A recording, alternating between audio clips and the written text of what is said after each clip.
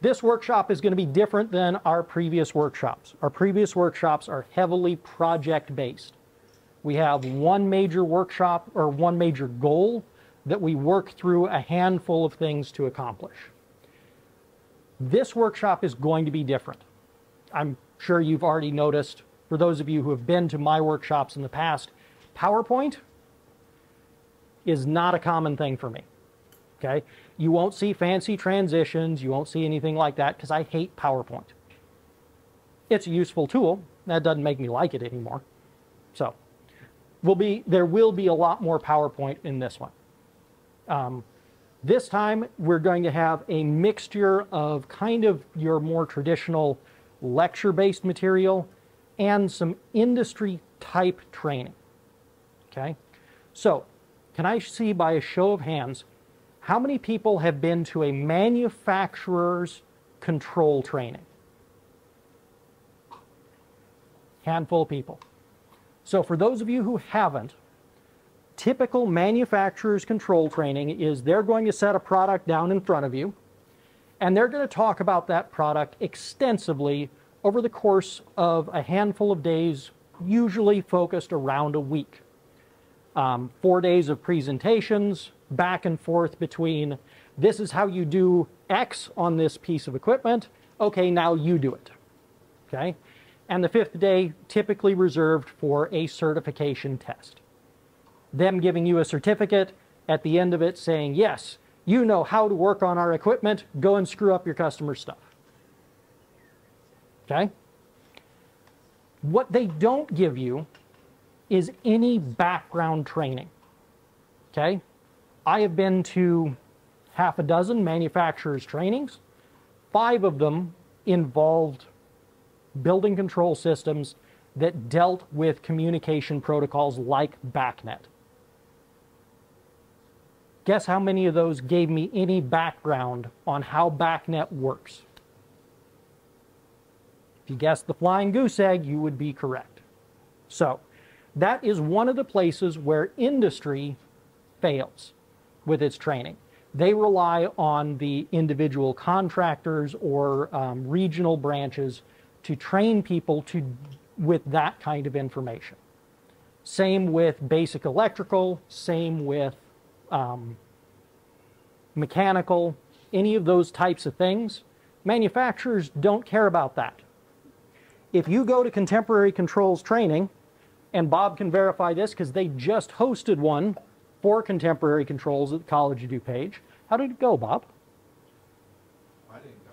Oh, you didn't go? But I, it was good. You had work to do, right? Yeah, and I didn't know what they were getting into, but they used our classroom and put it together, but they, they went pretty extensive into the, uh, vast U. Yeah. and, uh, but vast U and how to create the front end and how to get the controllers, like that, and a lot of them, but you're, you're pulling through the products as opposed to Right. understanding how it fits the big picture, and that's, sometimes you need context. Exactly. And that's what the a lot of industry training does. Now, I threw contemporary controls under the bus right there because they are a little bit different. They're a smaller company than the big ones like Schneider or Siemens or Johnson Controls.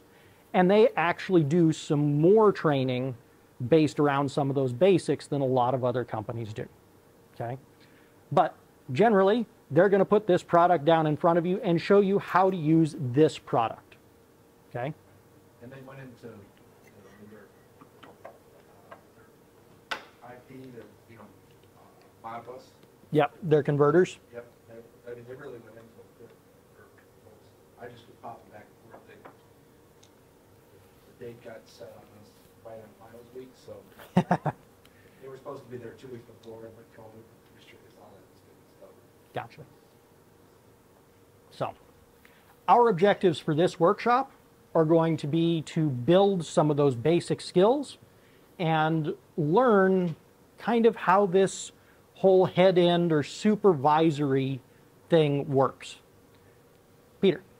Robert, uh, just to mention, some, some who may not know, we're using this product because unlike, We're going to get to it. oh, okay, it's open source. Yep. So, Um, Peter does bring up a great point. If at any point during my presentations you have a question, please stop me and ask. I've got sections for questions at the end as well, but you don't have to save it.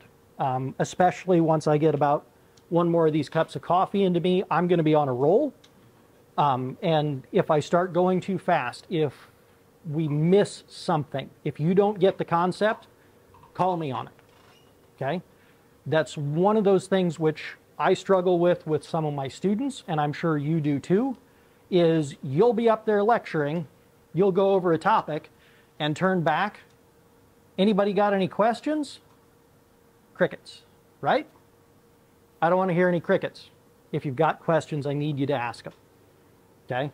That's how we make this useful. You know it, I know it. So, all right.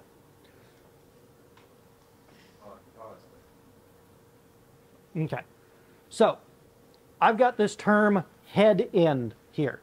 Um, we can also use the term supervisory. I meant to add that to this presentation, my failure. Um, copies of the all the presentations will be given to you at uh, sometime after the workshop, about a week after, when we get them uploaded. Okay. We're also going to build basic knowledges of the functions of a head end. Okay?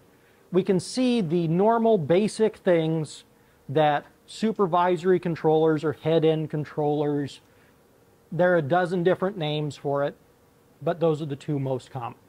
That the things that they have to do at a minimum. Okay? Most modern control systems do significantly more than this list. But for a system to be functional as a supervisor, really this is your kind of minimum stack. Okay? And we will be, as you kind of guessed, be using the Contemporary Controls BASView 3 for this project. Okay, and we're going to get into the why of that here in a minute. I know I've got a slide on it, so I'm holding off on trying to over-explain now and slide through slides later. Okay? So, why are we doing it more this kind of formalized traditional way? Why are we doing it the industry way instead of our normal project based? Well, one, I think it's important for those who haven't been through an industry manufacturer type training to have that experience. Because once we know what that experience is, it's easier for us to be able to fill in those holes for our students. Okay? we all have a variety of students. You get some from who are out in industry and doing these kind of things, and you get some people who are totally green, whether they're coming um, day one from a different career, or day one out of high school, or maybe still in high school, or maybe they graduated with a bachelor's degree and realized now I have to get a job to pay for these student loans.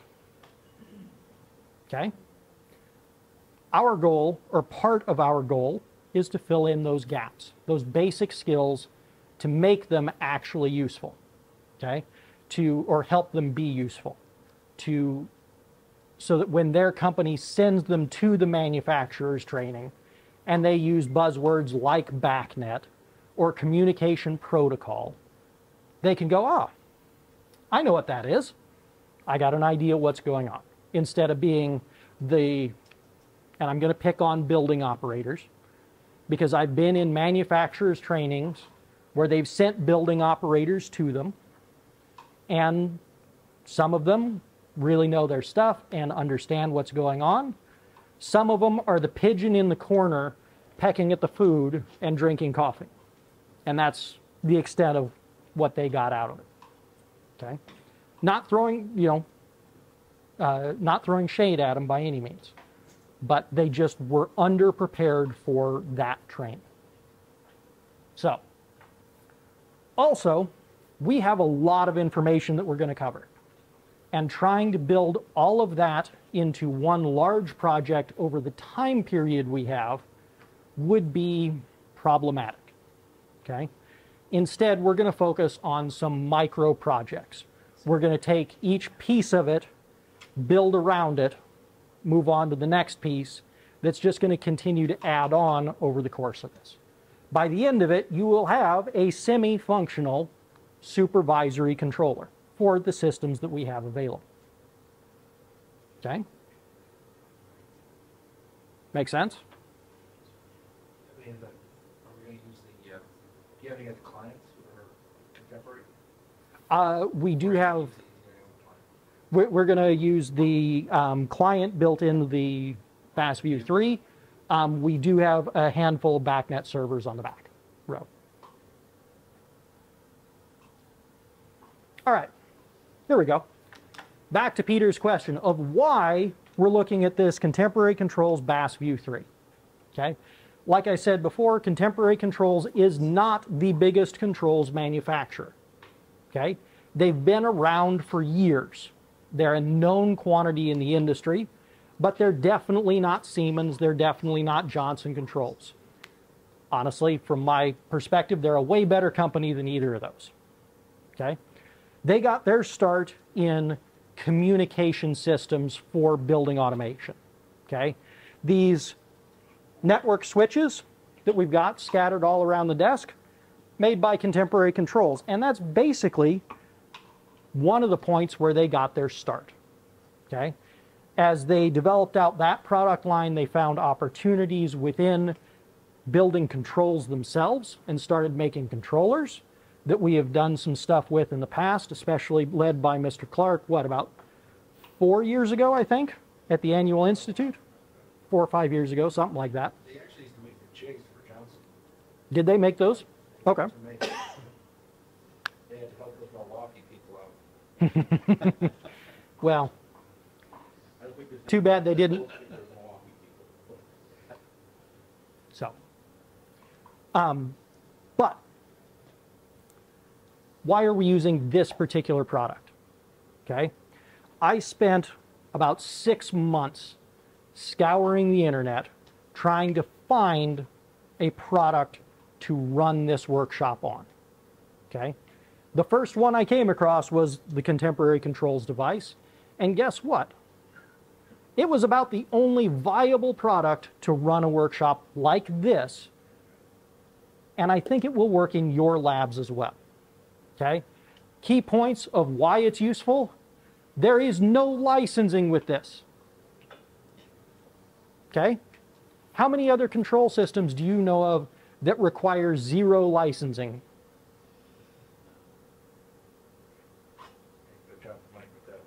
Yeah. Right? There, there's about one that I can think of. Um, I'm trying to get away from that product line because of who owns it now. You, you probably know who I'm talking. Okay? Additionally, for this, there is no software. Okay? Everything that we're going to do on these controllers is done through a web browser. Okay? That means it doesn't matter if you're running PC, Linux, Mac, Windows, Unix, Chromebook. Heck, you can configure these through a tablet. Okay? Don't get me wrong, having gone through their menus, I'm not sure that would be exactly fun experience, but it could be done. Okay? So, Steve. Um, as far as iPads, Mm-hmm. does it work on? Yep. Literally. Talking about that. I don't like Apple products either. They change. Students get iPads, Yeah, oh, yeah, it's, it's like a program, we get. Yeah. There are some physical hurdles you have to address if you're coming at it from a device that only has wireless connections. But once we get into the networking side and the practical, when we start configuring these units, we can talk about some of those and some potential solutions to deal with those problems. Okay? Robert, Peter. what did they take home at the end of the week? Oh, great question. So, you notice that your BASView 3 was sitting on a box? That's the factory box, and the reason it's there is because you take this home at the end of this workshop. Nice. Okay? That is courtesy. They, they did. We're going to talk about the price here in a second. Um, that is, Best Center bought these They were not donated. We did get a discount on them. Okay? So, yours to take home. Um, not this week. I haven't finished going through and developing the lab manual. I have it about three quarters of the way done. But by the end of June, I will have the lab manual for what everything that we do this week will be done. So you will have that lab manual to go with. Okay? And that's going to link into one of the disadvantages. But, but yeah, you take this home. Thank Peter for that one. Okay? Climate just changing here. So, also, these devices are relatively affordable. Okay? And when I say relatively affordable, that's given where the market is. Okay? Right now, if you go to Contemporary Control's website, they do not have a price quote for these because they, like so many others, are dealing with supply chain issues. Okay? But back when they did have a price quote on the website, you know, a list price for these, um, I think it was 1100 or 1200 bucks. Okay?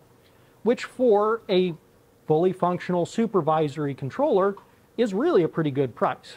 Our education price, I believe it's like nine hundred, eight hundred, fifteen, nine hundred. Something like that. Yeah. I was going to get to the point nobody pays list price. Okay? Not here with Best Center, not with Contemporary Controls. Because since you're Best Center members, you by default get Best Center's discount.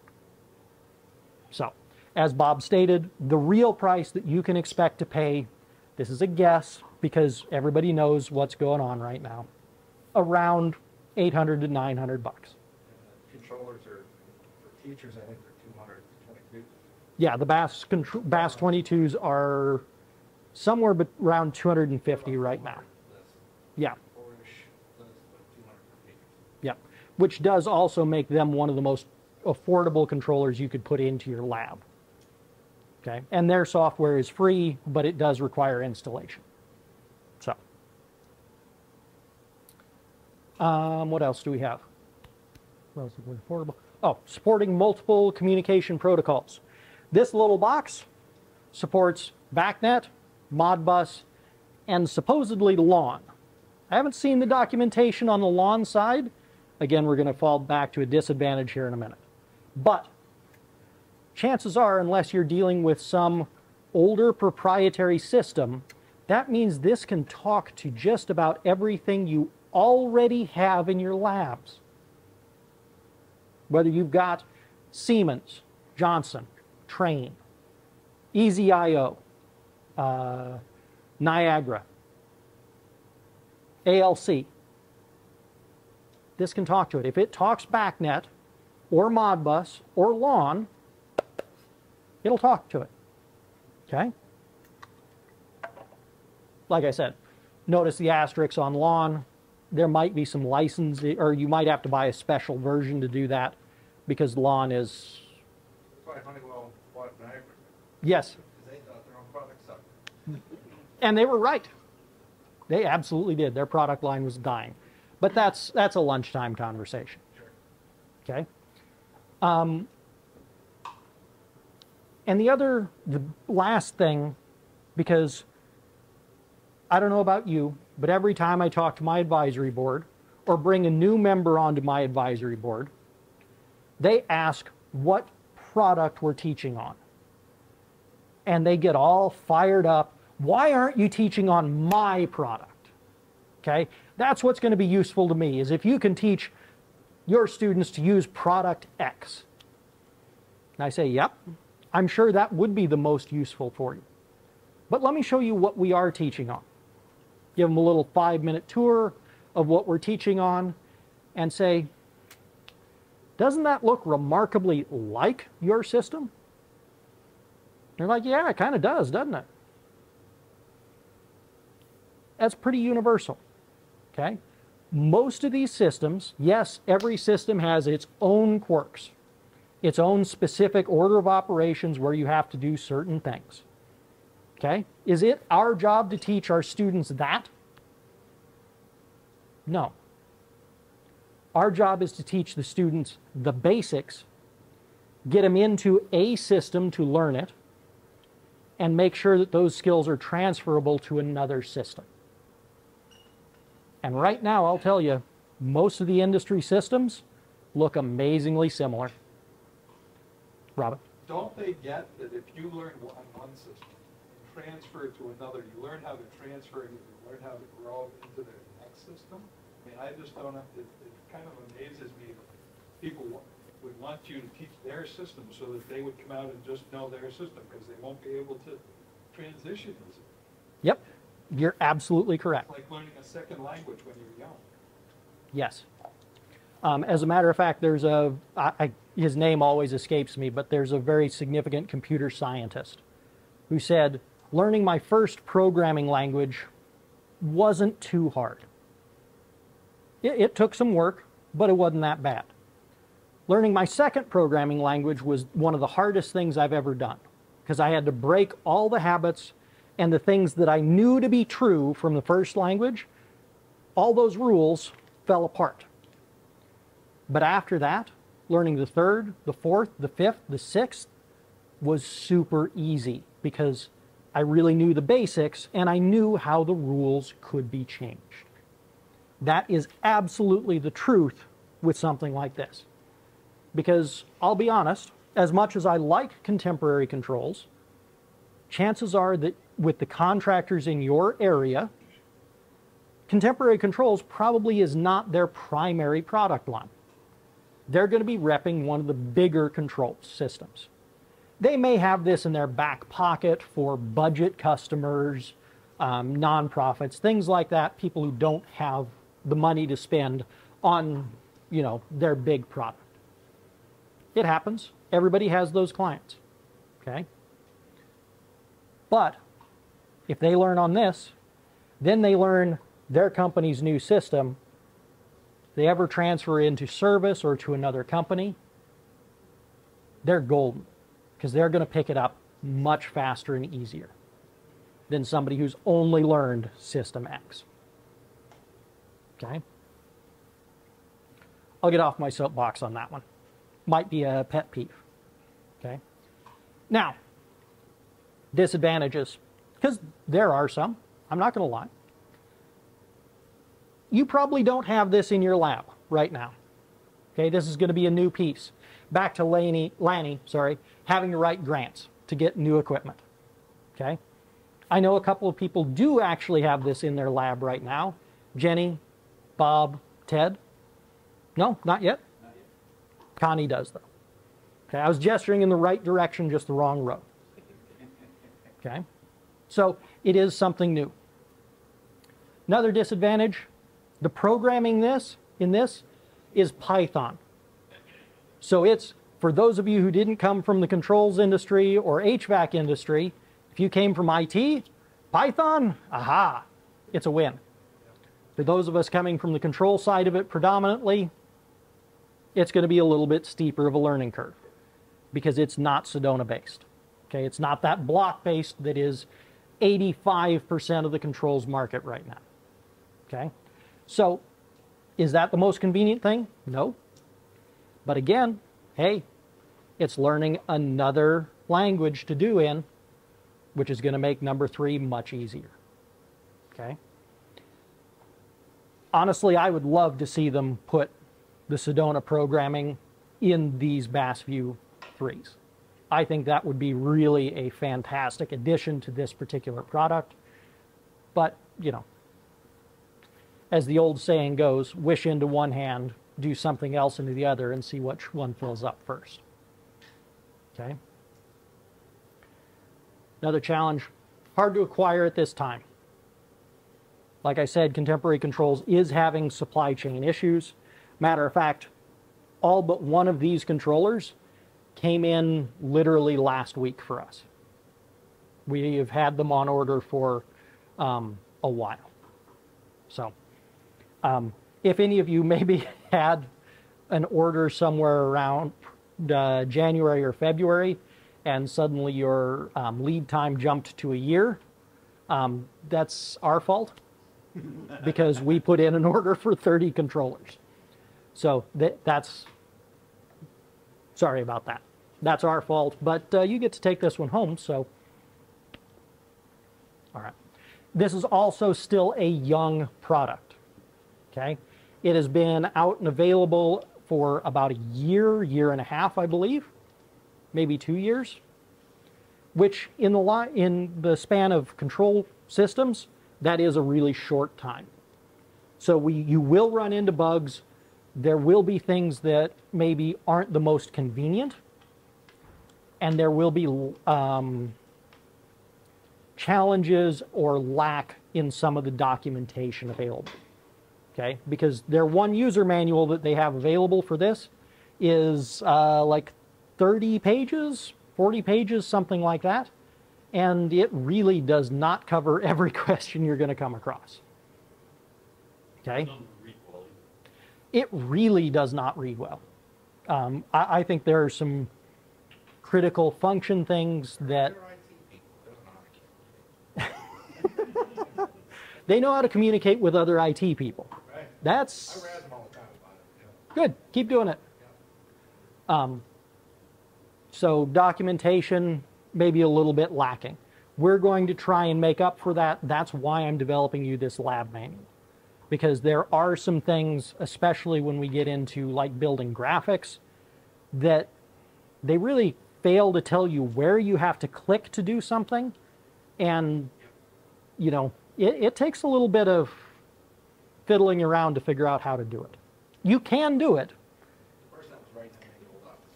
Ah, that explains why it ends where it does. That happens. So, but that's why we're using these controllers. Okay? And to be honest, with the list of advantages, very specifically that no licensing and the relatively platform independent items, this is the only one on the market. Okay? Everybody else's products, if you don't have Windows, better go get Windows. Go buy a cheap laptop or run parallels on your Mac, whatever you got to do.